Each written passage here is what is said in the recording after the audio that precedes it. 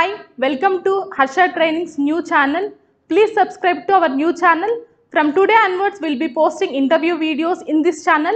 If you are not yet subscribed to our channel, please subscribe it now. Today, our interview topic is on validations. So, let's get into our session. Hi, Harsha. Hi. Today, our interview session is on validations. Okay. So, let's move on to our session. Okay. Sure. Uh, the first question is What are the types of validations in programming languages? And please explain those. Okay. So in general, we have two types of validations: client-side validation and server-side validation. Client-side validation means the validation logic that gets executed on the browser itself, like HTML, JavaScript level, and returns the validation errors. That is client-side validation. Server-side validation means the validation logic gets executed uh, like on the application server end. So the request from the browser will go to application server. Application server executes the validation logic and responds back with the error messages like that. And that is server-side validation. Okay, the next question is What are the rules which we use for validations in Pega? Okay, so in Pega, we have three different types of rules for validation purpose.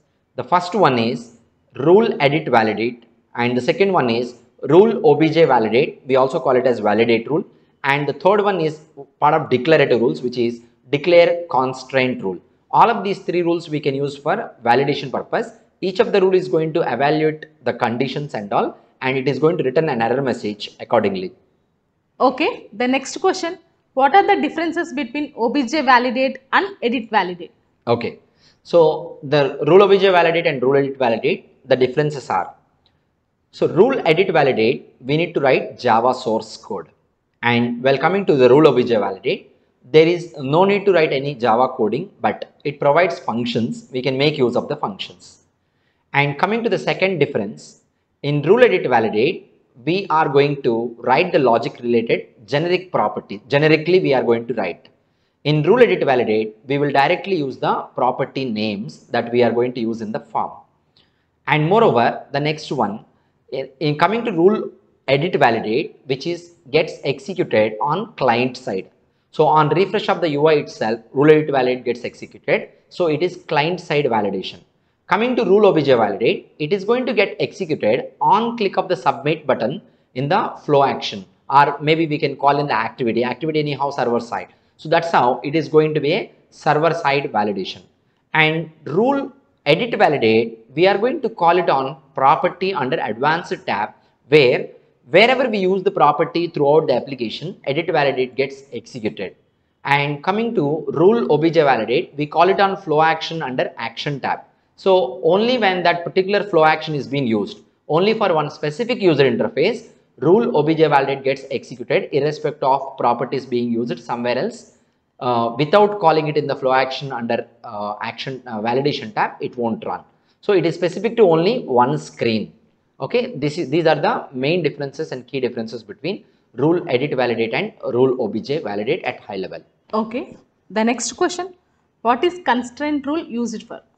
Okay, so declare constraint rule is also for validation. The advantage of using declare constraint rule is if we are writing the validation logic by using declare constraint rule, there is no need to call this particular rule anywhere because it is a declarative rule. Without calling the rule, it gets invoked automatically throughout the application anywhere, wherever we use the properties that are involved in the declare constraint rules.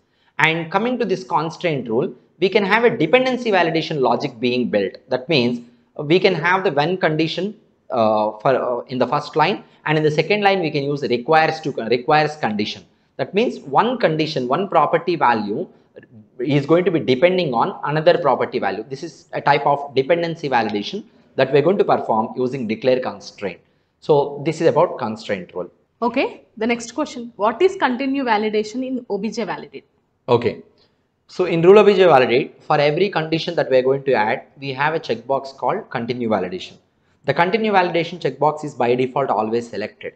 So that means suppose if I have five conditions and continue validation button is selected for all five conditions, all five conditions will get executed whenever the rule obj validate is being called. For example, if I am going to uncheck continue validation for the third one, then in a form, after entering the entire form, if we click on submit, the validation logic will get executed up to third one. Up to third validation, If it is successfully done, then only fourth and fifth will get will be get executed. Otherwise, it won't. So it is like a break point. Suppose if we uncheck continue validation for every logic, every validation condition that is available in rule obj validate, then for every condition PRPC will stop execution of the logic and if the previous one is successfully been validated then only it will go to the next one and like that it is going to validate one by one field in the form. That's what continue validation means. Okay, the next question. Edit validate rule uses Java code. It must be server side validation. Okay. Then how it works on client side validation in Pega? Okay. So rule edit validate uses Java coding. Usually Java coding means it should get executed on server side, right? But rule edit validate works as client side validation in Pega. The reason being, Pega design is like rule edit validates are being called on refresh of the UI by using an Ajax calling. Okay, so that is the Ajax calling is being implemented from HTML code to rule edit validates. That's why we are experiencing rule edit validates getting executed on client side itself. Okay, the next question. How to return a custom message from the edit validation Java program? Okay.